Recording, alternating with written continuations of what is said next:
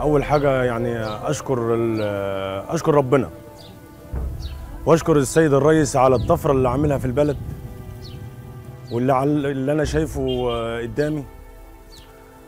وأنا كان عندي بيت بالطوب الني.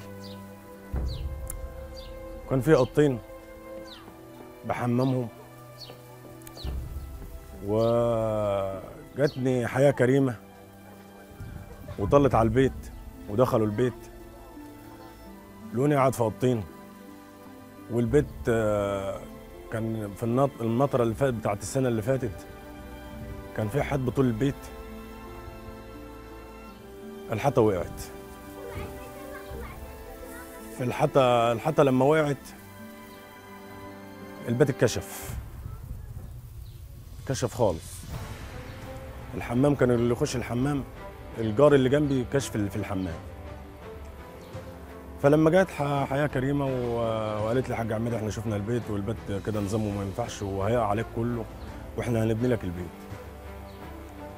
أنا مش مصدق ما كنتش مصدق اطلاقا.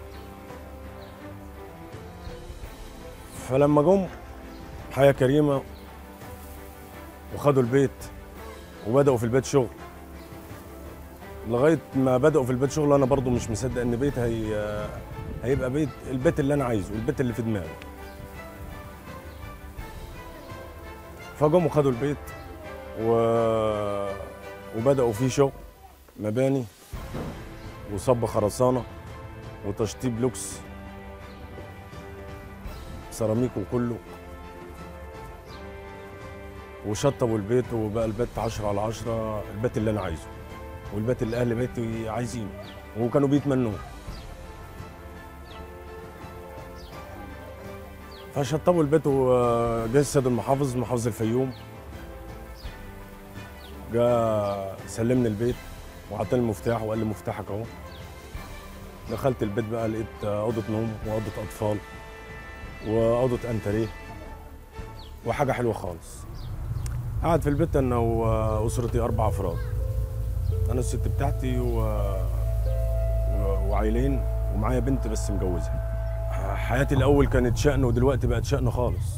يعني أنا الأول كنت بتمنى إن أنا أبني بيت بس ما كانش معايا إن أنا أبني.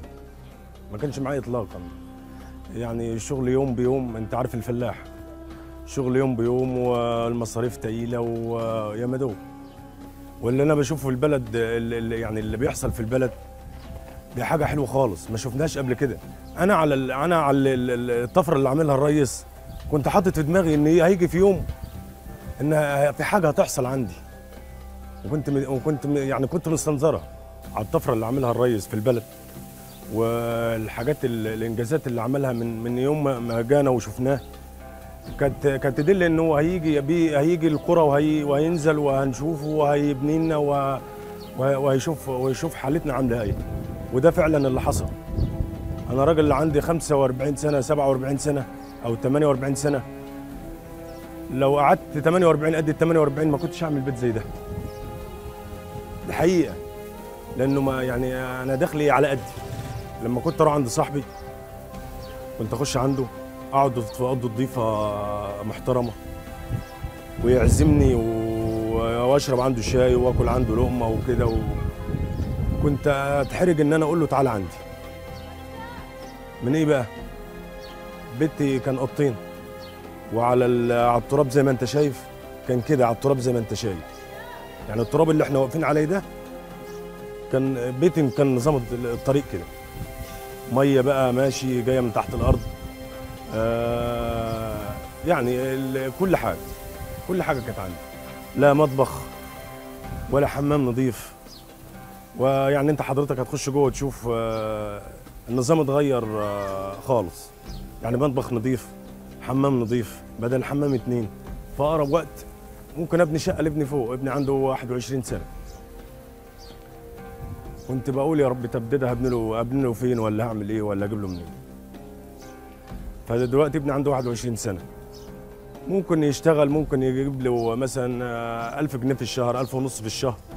أجيبهم طوب أبني له شقة فوق كده تمشي. فكده هتمشي. الأول ما كانتش هتمشي معايا اطلاقا. أقول له الريس ألف ألف شكر على اللي أنت بتعمله مع أهل القرى. بالذات. لأن أهل القرى يعني كانوا كانوا كانوا في مكانة ما يعلم بها إلا ربنا ودلوقتي أنت خلتهم في مكانه عاليه خالص. خالص. و... وإن شاء الله مصر مصر في خير لحد يوم القيامة. والله حياة كريمة غيرت غيرت حياتي راسا على عقب وحياة كريمة اللي, اللي عملته معايا أنا أنا لغاية دلوقتي أكني في حلم.